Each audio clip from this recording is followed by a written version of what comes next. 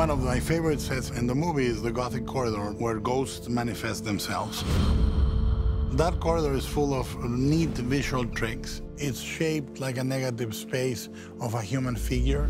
It's a very, very important setting where ghosts emerge. The corridor seemed like a succession of arches studded with rows of spear-like teeth.